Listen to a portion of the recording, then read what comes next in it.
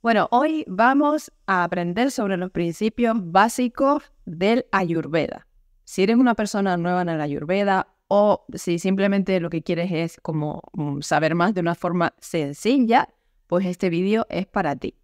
Si no me conoces, mi nombre es Teresa y suelo guiar a las personas a través de la Ayurveda, también a través de la medicina tradicional china, para encontrar ese equilibrio en la vida. ¿no? Además, también estoy finalizando mis estudios de dietética por lo que, bueno, si te gustan estos temas, suscríbete al canal porque mm, también a mis redes sociales porque allí vas a encontrar mucha, mucha, mucha información que suelo compartir y bastante interesante. Bien, empezamos. La alimentación ayurvédica es un sistema de nutrición muy antiguo basado en la medicina tradicional de la India, que es conocida como Ayurveda, que tiene como pues, más de 5.000 años de antigüedad. Imagínate, el Ayurveda lleva la friolera de 50 siglos funcionando entre nosotros.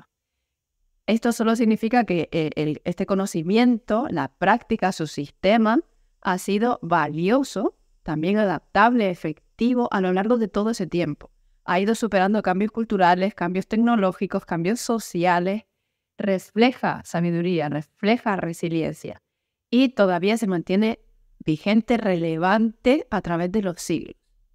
De hecho, yo diría que incluso en la actualidad, pues está viendo como un auge, está viendo un mayor interés y todo el mundo, pues, eh, quiere saber más sobre Ayurveda, ¿no?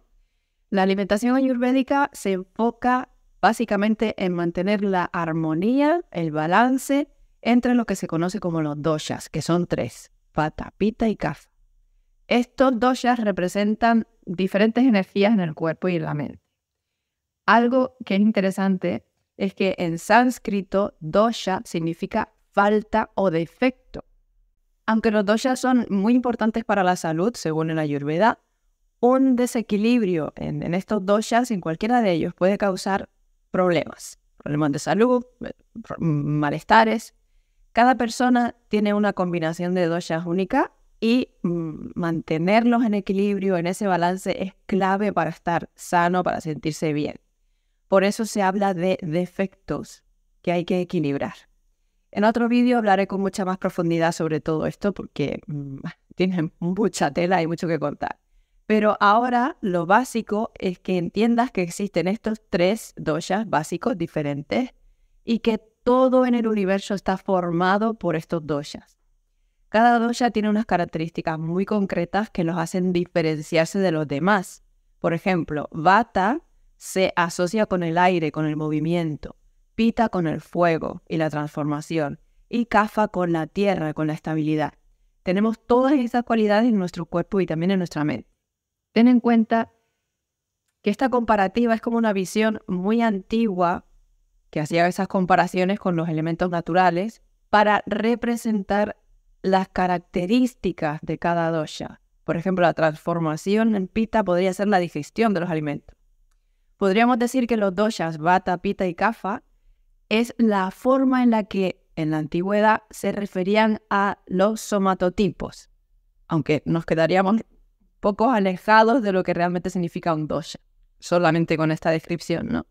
Los somatotipos son la clasificación en base a la forma del cuerpo que tiene una persona, la cual puede ser influenciada por la constitución de los huesos, el metabolismo, la cantidad de masa muscular, de, masa grasa. Y según estas características, es posible clasificar el somatotipo en tres diferentes, que son ectomorfo, endomorfo y mesomorfo. Así es como se conoce, digamos, en nuestro mundo actual, pero la gran diferencia es que hace ya 5.000 años estos somatotipos no solamente se clasificaban según la forma del cuerpo, sino que también se tenía muy en cuenta cómo funciona nuestra mente, qué tipo de carácter, de pensamiento solemos tener, etc. La clasificación no se limitaba a lo físico con el ayurveda, sino que iba más allá. El concepto de somatotipo para nuestro mundo occidental es súper nuevo en comparación con el ayurveda, porque fíjate que esta clasificación del cuerpo humano en somatotipos fue desarrollada en la década de 1940. y solamente se quedaron en la clasificación física nada más. No tuvieron en cuenta eh, lo mental o lo emocional, tan importante para la armonía total del ser humano. En Ayurveda se dice que hay alimentos que son capaces de calmar nuestro cuerpo, pero también nuestra mente. Por tanto, influyen en nuestro dosha, en nuestra constitución. Según las características del alimento, tendrán una influencia que sea más positiva o más negativa. Y según sean esas características, pues pueden beneficiar o perjudicar a cada dosha. Por eso, según lo que dice la Ayurveda, es muy importante conocer nuestras necesidades, nuestra naturaleza propia, para poder darle, proporcionarnos esos alimentos que solamente nos benefician en base a lo que nos hace sentir bien y lo que nos armoniza. De ahí que no todas las dietas funcionen igual para todo el mundo. Ayurveda lo tiene muy claro desde hace muchos siglos. Al seguir una alimentación ayurvédica puedes disfrutar de varios beneficios como puede ser pues mejor digestión, más energía, más equilibrio emocional. Porque comer según tu dosha pues también mm, puede ayudarte a mantener un peso saludable concentrarte mejor, mantener el foco, reducir el estrés. En Ayurveda cada alimento tiene características muy específicas que afectan tu cuerpo, afectan tu mente de diferentes maneras.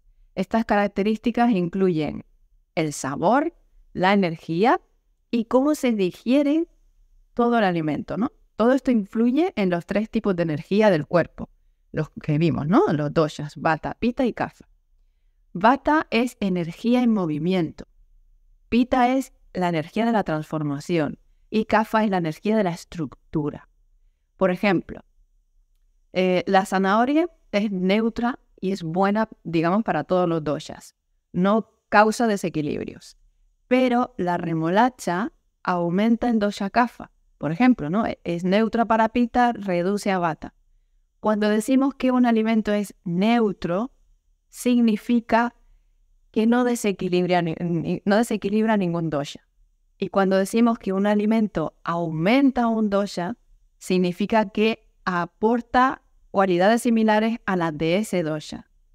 Y por tanto, cuando decimos que un alimento disminuye un dosha, pues es que aporta eh, cualidades opuestas a ese dosha y lo hacen como equilibrarse más. Para verlo más claro todavía, imagina que Kapha es como el agua en un charco. Si llueve sobre ese charco, aumenta la cantidad de agua. Pues de manera similar, si, si tu constitución tiene ya mucho cafa y comes remolacha en exceso, pues estarás aumentando las cualidades de cafa en tu cuerpo.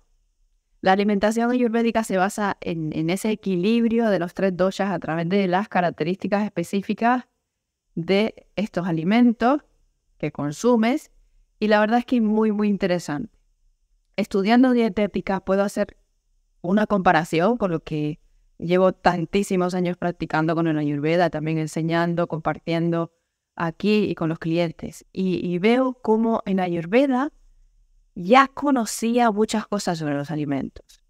Nuestra ciencia moderna todavía no se enfoca mucho en cómo los alimentos afectan a nuestra mente, pero eso está cambiando.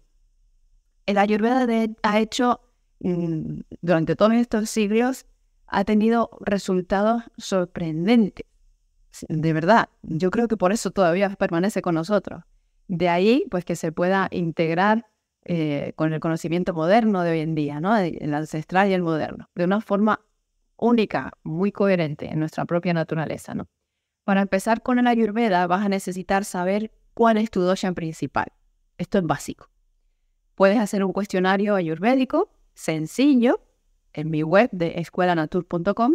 Es gratis, es gratis, pero es básico. Esto que quede claro. Y si quieres algo más profundo, más detallado sobre tus características físicas, características mentales, pues puedes reservar conmigo una consultoría online. Te, te daré un dossier personalizado, como si fuera un manual de instrucciones para ti sobre qué alimentos, qué prácticas ayurvédicas te convienen más para tu biotipo concreto, ¿no? hago sesiones online en todo el mundo, así que eso no sería problema. Cada dosha tiene unas necesidades diferentes, como ya vimos, ¿no? Vata necesita comidas que sean más cálidas, más reconfortantes. Pita va a preferir alimentos que sean frescos, ligeros. Y Kafa se beneficia mucho de comidas más ligeras y estimulantes. Para reservar tu sesión conmigo, mm, puedes entrar también en escuelanatur.com y vas a la sección de servicios. Los básicos que debe haber en cada plato ayurvédico son come alimentos frescos y naturales, evita los alimentos procesados, incluye los seis sabores en cada comida. Estos son dulce, ácido, salado, amargo, picante y astringente. Dulce como frutas y cereales, ácido como cítricos y yogur, salados como sal, obviamente, algas también, amargo como verduras de hoja verde, picante como especias, chiles y astringente como lentejas o té verde. Establece un horario regular para tus comidas. Come a la misma hora todos los días si es posible y no comas en exceso. Bien, toda esta información fue una breve, brevísima introducción a la, alimentación ayurvédica para explicarte conceptos muy básicos y que puedas integrarlos ya desde hoy mismo con esto que te acabo de comentar. Gracias por acompañarme en este vídeo. Si te ha gustado, no olvides darle a like, por favor, suscribirte a mi canal. Esto me, me ayudaría muchísimo para seguir difundiendo todo el contenido sobre Ayurveda y sobre bienestar natural. Deja tus preguntas o tus comentarios aquí abajo y no te pierdas los próximos vídeos donde voy a estar compartiendo recetas, rutinas diarias y mucho más. Nos vemos pronto. Namaste.